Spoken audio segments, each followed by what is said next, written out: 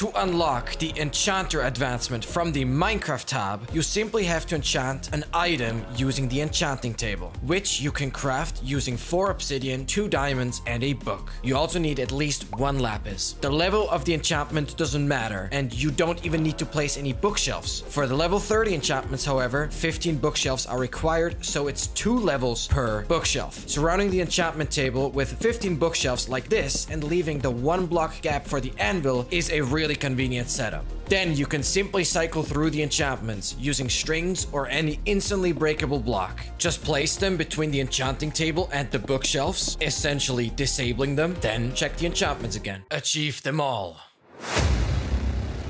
Advance to the next level.